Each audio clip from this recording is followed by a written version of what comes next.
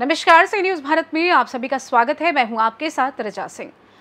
अखिलेश यादव और सीएम योगी की जुबानी जंग थमने का नाम नहीं ले रही है।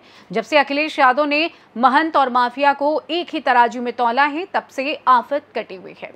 एक तरफ़ सीएम योगी अखिलेश यादव पर वार पलटवार कर रहे हैं तो वहीं अखिलेश यादव रोज नए नए वार कर रहे हैं।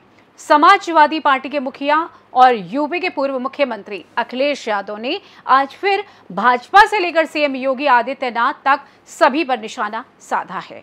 मठाधीश और माफिया को लेकर दिए गए बयान पर फिर से अपनी बात रखते हुए योगी ने कहा कि मुख्यमंत्री मठाधीश शब्द को अगर दूसरे तरीके से लेते हैं तो मैं कहूँगा कि वो मठाधीश मुख्यमंत्री हैं। सुनिए। बताओ एक बच्चे के लिए अगर एक बच्चे की डेड बॉडी नहीं मिली है तो उसकी मदद नहीं कर रही सरकार। ये है सरकार। तभी मैंने कहा कि जो क्रोध करेगा वो योगी नहीं हो सकता। इसलिए मठाधीश मुख्यमंत्री हैं ये।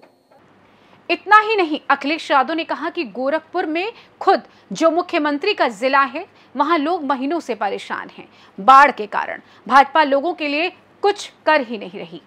गोरखपुर खुद मुख्यमंत्री जी का जिला वहाँ पे लोग महीनों से परेशान है बाढ़ के कारण।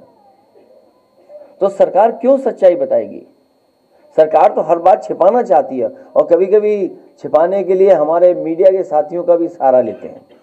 इसी के साथ अखिलेश यादव। एक बार फिर ये दावा करना नहीं भूले कि यूपी में बीजेपी बहुत बुरी तरीके से आने वाले समय में हारने वाली है। अब अखिलेश यादव ने कहा कि बीजेपी इतना बुरा हारेगी कि उत्तर प्रदेश में जिसकी आप कल्पना भी नहीं कर सकते। ये भी सुनिए। मैं आपको बता रहा हूँ कि बीजेपी इतना बुरा हारेगी उत्तर प्रदेश में जिसकी आप कल्पना नहीं कर सकते। लोग इंतज़ार कर रहे हैं, बस चुनाव कब हो जाए अब खास बात तो ये भी है कि अखिलेश यादव ने ये बयान तब दिए जब आज मुख्यमंत्री योगी आदित्यनाथ रामनगरी अयोध्या पहुँचे थे, जहाँ उन्होंने मिल्कीपुर में जनसभा को संबोधित किया और समाजवादी पार्टी पर निशाना साधा। समाजवादी पार्टी अध्यक्ष अखिलेश यादव का नाम लिए बगैर उन्होंने कहा कि सपा सरकार में माफिया की पैरलर सरकार चलती थी। बबुआ अपने घर के बाहर नहीं निकलता था। सीएम ने कहा कि त्रेता युग में भी यही हुआ था। रामद्रोही कभी भी अयोध्या का विकास नहीं होने देना चाहते। सुनिए। बबुआ अपने घर के बाहर नहीं निकलता था। बबुआ बारह बजे सो के उड़ता था। और प्रदेश की जनता पिसती थी। माफिया समानांतर सरकार चला करके अराजकता और गुंडागर्दी का एक और तांडव करते थे।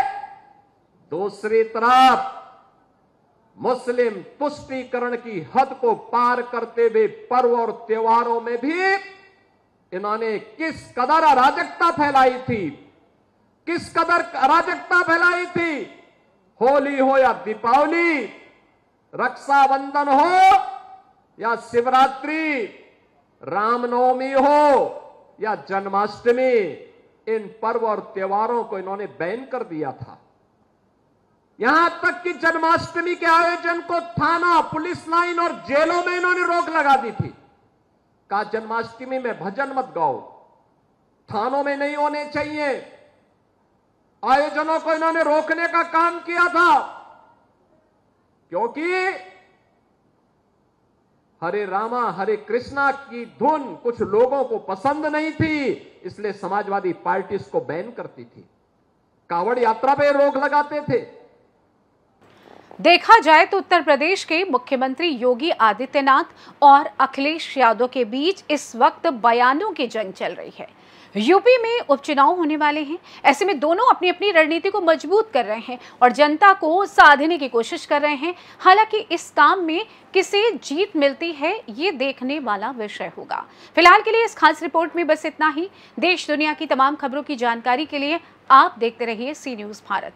हर खबर आपके साथ, आपके हाथ।